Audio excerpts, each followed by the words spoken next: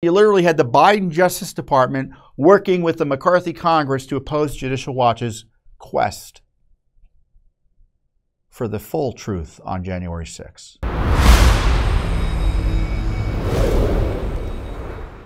One of our key lawsuits has been against Congress. Yes, Congress. Uh, specifically, the U.S. Capitol Police. We had sued for records, the January 6 videos. We want them.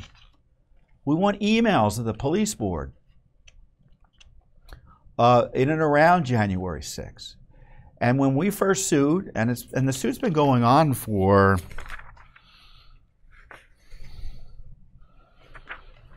it's at least two years. I'm looking at the case number. It says 21, so that, that's an indication it was filed in the year 2021. Uh, it's been going on for some time. And of course, Nancy Pelosi's Congress said, no, we can't have anything under law. we now, Congress isn't covered by the Freedom of Information Act. Uh, they've, um, that law only applies to the executive branch agencies, not even to the White House, just the executive branch uh, agencies like Department of Justice and, and you know, Homeland Security and agencies like that. But Congress is exempt from FOIA. Uh, but we allege they're not exempt from the common law right that citizens have to access to uh, information about what the government's up to.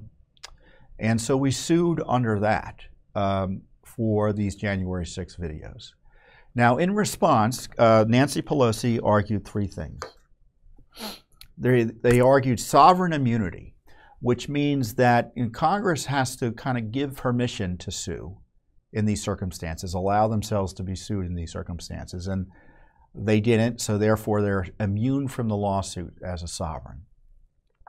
I think that's, you know, as my, that's the best way I can put it. It may not make sense to you, but that's the reality of it. It's, they have, quote, sovereign immunity from this litigation. But even if they don't, they allege that the records aren't public records as defined by the common law. And even if they were, uh, the public interest in getting them isn't good enough to warrant their release. So that's the Pelosi Congress. Did it change when Speaker McCarthy came in? Now, the legal position of Congress or the police board is guided in part by McCarthy because he shares leadership or oversight indirectly through appointees with the leader of the Senate, in this case, uh, Schumer. And McCarthy, there's no evidence the position changed under McCarthy because they're still fighting us. In fact, they became even more aggressive in fighting us and expanded this argument to suggest that there's no way any of this are public records because it's all security information and exempt from disclosure under law. So every email, more or less, isn't a public record. Uh, but more importantly, every video isn't a public record because every second of every minute of every of those 14,000 hours of videos is security information that can't be disclosed to the American people. So the McCarthy Congress filed that brief, and it was one of McCarthy's last, I would say, last acts as Speaker, which was a, brazen act of secrecy and contempt for the right to know for the American people.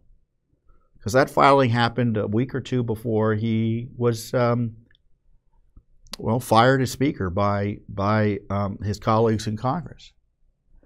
But what was interesting about this case is the fact that we um, had to argue about the emails. And some emails we kind of said, well, it doesn't look like under the law we can get them based on their on uh, on on the government's descriptions of what they are. But other emails, we didn't have enough information to know whether or not we'd be able to get them. And the government's essentially saying, or the, the Capitol Police are saying, well, they don't document final government decisions or government decisions or policies or something. So they're not public records in the traditional sense that would allow you common law right of public access. So they're basically saying that the records aren't important enough for us to get to them. But the court required them to give us a better description of them so we could figure that whether what they were saying about them was true or not. But we can't get them, but they have to describe them better. And that resulted in the lawyer for the U.S. Capitol Police filing a declaration, which is a document filed in the court under oath, describing these emails. And the emails are shocking, as described. Well, they're not shocking to those of you who've been following Judicial Watch and these January 6 issues pretty closely, because they show that the uh, officials were aware of the potential for a significant disturbance on January 6. So we see this from the description of the emails. We're not even getting a view of the emails themselves.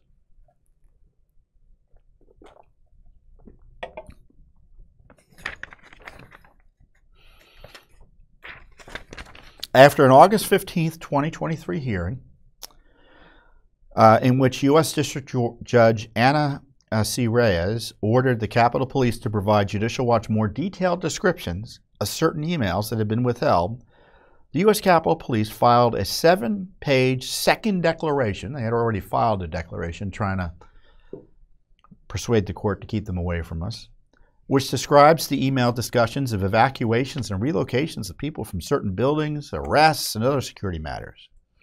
The Capitol Police describe um, a set of what they call situational security update emails as follows. I'm going to go through with go through because the media is not going to tell you about this. Only Judicial Watch.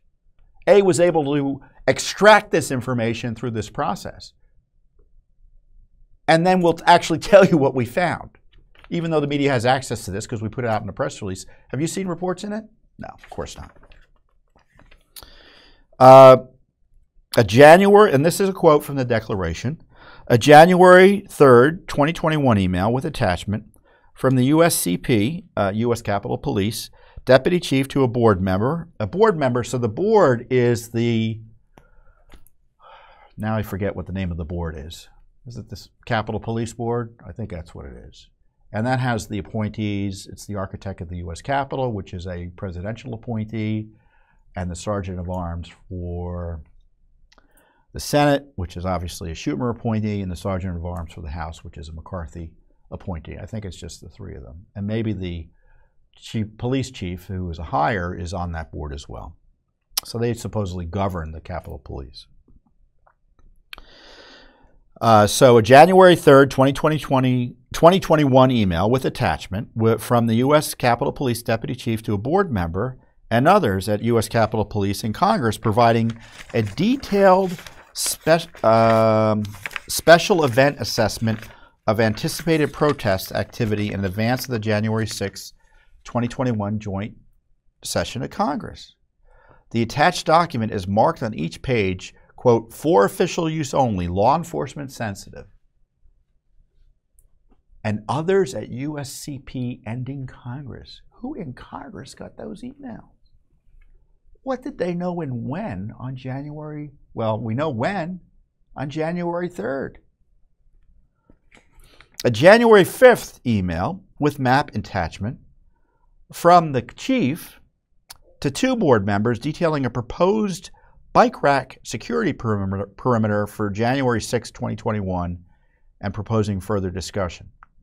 So that bike rack perimeter, you may recall from some of the January 6 videos of some of the protesters outside the, uh, the Capitol grounds, or at least the area where the security was set up. Those were bike racks typically. Uh, you may have seen how easily they were overcome because of the lack of security there as a result of poor decision making by the leadership of the U.S. Capitol Police, Nancy Pelosi, and, by the way, Mitch McConnell, who then was the Senate Majority Leader responsible for this. Another email dated January 5th uh, detailing a proposed security perimeter for January 6th. A January 5th email with social media posts and map attachments from the deputy chief to a board member and others, again, in Congress and at the U.S. Capitol Police reporting, quote, a significant uptick in new visitors to an historical website containing information on Capitol system tunnels. The deputy chief described proposed attempts by unauthorized individuals to block members of Congress from entering the Capitol building through tunnels or otherwise. So they were worried about that the day before January 6th, and still nothing seemingly was done to secure the Capitol better. A January 5th email from the deputy chief to a board member and others at USCP and in Congress. Again, who in Congress? We don't know because McCarthy is hiding this from us. So Pelosi first hid this from us, and now McCarthy uh, doubled down on the secrecy. Instead of just releasing this and just waiving these privileges that aren't necessary for the functioning of the police department, they could have given us these emails, but they don't want to.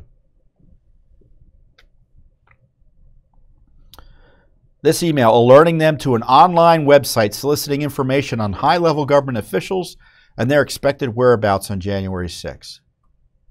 And linking to the website's article entitled Why the Second American Revolution Starts January 6. Boy, that sounds like a warning something big's coming, right? A January 6th email from the chief of the police to board members and others at the U.S. Capitol Police and in Congress, again, they won't tell us, relaying that the president had completed a speech, and that means President Trump at the time, at the ellipse, and that a large group was preparing to approach the Capitol. Now, we had uncovered in other documents that they knew tens of thousands were coming days and days beforehand. They didn't have adequate security. A series of four emails dated January 6 from the deputy chief to board members and others at the U.S. Capitol Police and Congress, providing four updates throughout the course of the day there. Three updates contain intelligence assessments, information on events, coordination with other law enforcement agencies, crowd estimates, scheduling of high level government officials, threat and incident reports, medical responses, and officer deployment status. Boy, I'd love to see those emails, but they don't want to give us so many. They don't want to give any of that to us a January 7th email, the day after, with a photo attachment providing an update on the arrest and subsequent charging of an armed individual found in a suspicious vehicle on January 6, 2021. I think I remember that. There was a I think he was arrested on the grounds, and if I recall, they found his video, I mean, his um, vehicle parked a block or two away, and it, and it had some weapons in it. And then there were updates on police personnel issues uh, that they also refused to give us as well. On September 29th, this is, this is the McCarthy Congress, the Capitol Police filed a motion to dismiss Judicial Watch's common law right of access lawsuit that asked for over 14,000 hours of video footage, arguing that the U.S. Capitol Police has a sovereign immunity exemption from lawsuits asserting the common law right of access to public information. That's Speaker McCarthy's position. You have no rights to this information at all. The latest filing goes further than prior Pelosi Congress secrecy arguments in this litigation by newly asserting even if a lawsuit were allowed to go forward, all January 6 videos and emails would be exempt from disclosure as security information. It is urgent that the January 6 videos and related U.S. Capitol e Police emails be released to the American people. I would hope the next House Speaker takes a different approach than Nancy Pelosi and Kevin McCarthy and affirms the public's right to know and stops working with the Biden Justice Department to hide the January 6 evidence. I told you about a hearing we had a month or two ago. I guess it was shortly before these filings were made. When was the hearing? I just said when the hearing was. August. It's back in August. So I'm there as as client. Uh, Michael Bekesha was there as our attorney, senior attorney. I think we have a picture of Michael in another case. Um, and sitting across at the other table were three Justice Department attorneys and the lawyer for the Capitol Police. So you literally had the Biden Justice Department working with the McCarthy Congress to oppose Judicial Watch's quest for the full truth on January 6th. I mean, if that's not an indictment of the way this town works, and they say they, they argue with each other, they're on the same side when it comes to government secrecy, Republicans and Democrats often are on the same side as each other.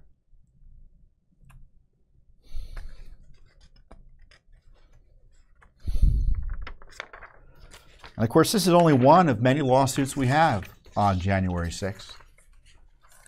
But we're not giving up on it. And I don't know if we're ever going to get any of these videos. I mean, these these exemptions the government is asserting, the police are asserting here, I mean, they're tough to overcome in a court. And I don't think this this judge in particular is terribly interested in our arguments and the public's interest in dis, interest in disclosure. Maybe I'm wrong, but I, I don't know if she's going to rule in our favor. So it's going to be tough. But what's interesting about it is how we're even able to get information even as they say no to us. So we have these new emails that suggest that there's a lot more to be found and understood about January 6th. We know they're there because they were described to us, right? So I'm hoping, as I said in the statement, that the new speaker reverses course and, and just releases this material. You know, now they, they say, well, there's security information, and you know, maybe there maybe there's a video somehow that reveals like a secret passageway they don't want anyone to see. We're not arguing over that. We're, we're, we're like, okay, that's fine. If, if that's what you say and, you know, we have no reason to disbelieve you, that's fine. But they know what we want and they know what would be necessary for uh, transparency on January 6th and they have zero interest in complying with it. And, and I want to remind you that we're not fighting Democrats on this, we're fighting Republicans, or actually, in this case, both. This is why you need an independent group like Judicial Watch, because when you, you know, the parties, they control Congress or they control the presidency. Uh, they're often going at each other for political reasons, but oftentimes don't go after each other and stand with each other against the public on transparency issues and government corruption issues. I mean, we see that time and time again. I could go on transparency, on impeachment, on corruption, obstruction. I mean, think of all the Republicans explicitly and silently rooting for the abuse of the civil rights of Donald Trump and election interference by Democrats. I mean, it's a, some people call it the uniparty. You betcha it is. Thanks for watching. Don't forget to hit that subscribe button and like our video down below.